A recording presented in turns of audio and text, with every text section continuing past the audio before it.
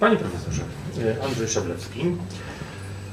Moje pytanie jest takie, bo tutaj był e, pan profesor Różkowski mówił o tym, że prawdopodobnie związki są w stanie wymóc pewną decyzję tutaj e, lokalnie, ale czy wyobraża sobie pan taką, takiego nie społecznego, tylko już bardziej ekonomicznego poziomu, taką sytuację, że cała reszta Polski będzie protestować przeciwko odkrywce w Złoczewie, przeciwko cenom energii rosnącym, przeciwko nie wiem, finansowaniu. No Ostrołęka na szczęście udało się ją powstrzymać, ale y,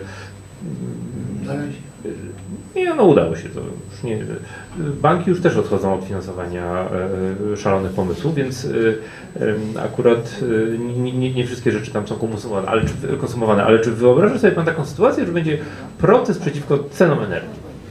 I to jest jedno pytanie, a drugie jest takie, jak z y, gospodarczego punktu widzenia wy, wy, wygląda sytuacja. W, y, tutaj bezpośrednio i pośrednio jest od 10 do 15 tysięcy osób związanych z kopalnią, elektrownią i e, firmami e, e, dostarczającymi usługi na nich.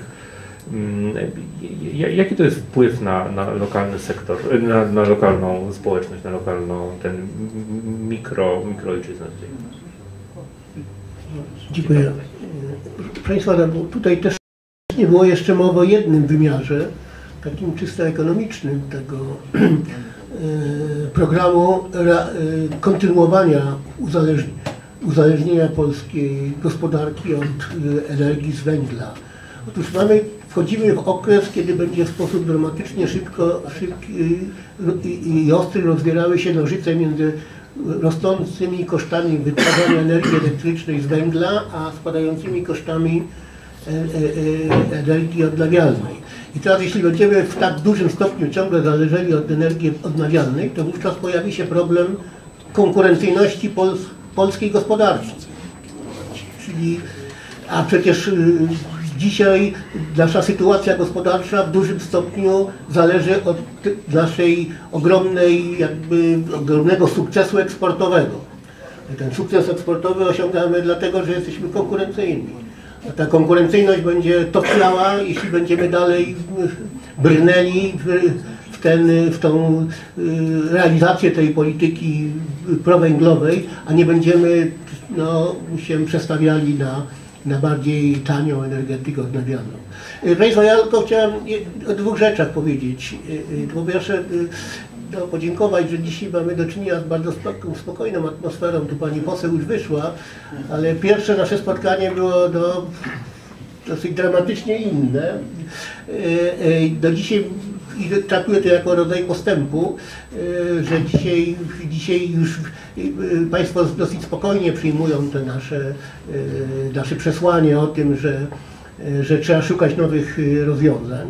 Ja tylko chcę się tutaj podzielić takim, taką pewną refleksją. To jest taki, ja już o tym mówiłem poprzednio, taki rodzaj déjà vu przeżywam, polegający na tym, że ja jestem starym weteranem energetycznym, bo zajmowałem się e, tworzeniem, ja w ogóle jeszcze w latach 80. zajmowałem się libera- liberalizacją sektorów sieciowych, między innymi liberalizacją energetyki. W 88 chyba roku czy 9 zostałem zaproszony przez koleżankę z uniwersytetu, słuchaj, mamy takie spotkanie z energetykami, e, mówi przyjdź i tam powiedz o tym, bo przecież ty się tym zajmujesz. No ja zacząłem mówić o konkurencji w, energe, w, w, energetyce. No i wtedy muszę powiedzieć, że mało nie doszło do rękoczynów, bo us, ci energetycy uznali mnie, że to jest jakiś wariat nieodpowiedzialny. No, mówić o konkurencji w energetyce to jakieś szaleństwo, jakiś, to może tylko powiedzieć ktoś, kto się nie zna. No dzisiaj konkurencja na rynku energii elektrycznej jest dosyć oczywistym faktem.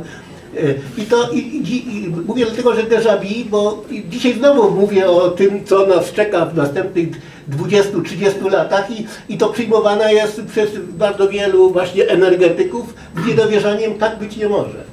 Proszę Państwa, no chciałem tutaj pocieszyć tych wszystkich, którzy związani są z węglem, że, to, że ten proces fundamentalnej zmiany, jaki dokonuje się na rynkach energetycznych, nie dotyczy tylko węgla. My przez całe, e, od lat 70. e, e, XX wieku żyliśmy pod presją e, takiej, tak, takiej krzywej Haberta. Krzywa Haberta to była krzywa tak, o takim kształcie, która pokazywała nam, kiedy nastąpi szczyt wydobycia ropy naftowej i po przekroczeniu tego szczytu nastąpi po prostu spadek wydobycia, no i wtedy wszyscy się prze, przerażała ich myśl, co to będzie, jak ropy naftowej zabraknie. Proszę Państwa, dzisiaj ta krzywa Haberta pokazuje nam coś innego, a mianowicie pokazuje nam punkt, w którym nastąpi szczyt zapotrzebowania na ropę e, naftową, po którym nastąpi e, spadek tego zapotrzebowania. I według szacunków dzisiejszych uważa się, że taki szczyt zapotrzebowania na ropę naftową nastąpi za jakieś 10-15 lat. I to między innymi tłumaczy, że mimo różnych zawirowań e, na, w, w tak zwanej geopolityce, e, które zawsze powodowały gwałtowne spadki ropy naftowej, to dzisiaj ropa naftowa, cena ropy, ceny ropy naftowej no, w sposób bardzo łagodny reagują na te, na te, na, na te różne wydarzenia natury politycznej, które zwykle powodowały właśnie gwałtowne podnoszenie się, e, podnoszenie się cen ropy naftowej. Także te, ta, te zmiany w e, obszarze energetyki dotyczą nie tylko węgla, ale dotyczą wszystkich e, pozostałych jakby nie, elementów tego segmentu, e, tego, tego całego sektora energetycznego. Dziękuję bardzo. Pan profesor, jako doświadczony e, e, profesor i energetyk, e, częściowo zadał sobie pytanie i na nie odpowiedział, to ja powtórzę część mojego pytania. Czy, ja- jakie są ryzyka dla, jeżeli dla, nie będzie tutaj dobrego planu dla lokalnej społeczności i pomysłu, jakie są ryzyka tak z ekonomicznego punktu widzenia? Czy ryzyka, No ryzyka. dla tej tutejszej Dokładnie tak. tutejszej społeczności, no, no to już tutaj Pan mówił o tym, no, że dzisiaj elektrownia jest podstawą bytu samorządów, y, y, ludzi i tak dalej. No, jeśli, jeśli się do, do czasu, kiedy w sposób nieunikniony nastąpi zakończenie działalności y, tego zagłębia, nie znajdzie jakichś rozwiązań wcześniej, odpowiednio wcześniej, no to, no to jest po prostu katastrofalna wizja. No. Więc e, rozumiem też, No bo jeszcze raz powtarzam, moje przesłanie tej mojej prezentacji jest takie, że proces dekarbonizacji jest nieuchronny. I to nie z powodów jakby politycznych, czyli, znaczy nie tylko z powodów politycznych, ale przede wszystkim ze względu na dokonujące się zmiany natury technologicznej. Proszę sobie, proszę sobie przypomnieć, widzę tutaj wiele twarzy takich mniej więcej w moim wieku, o sektorze telekomunikacyjnym. Kiedyś, pamiętam, przeprowadziłem się na nowe osiedle, wystosowałem pismo do, do, do miejscowego oddziału te- telekomunikacji polskiej z, pytaniem, kiedy zainstalują sieć. Odpowiedzieli mi, że w przeciągu najbliższych 20 lat nie przewidują założenia sieci. Y, Co, co my dzisiaj mamy w telekomunikacji? No młodzi ludzie słuchają tego jak jakieś balki o żelaznym wilku. I to samo będzie się działo również i w energetyce. Fundamentalna zmiana.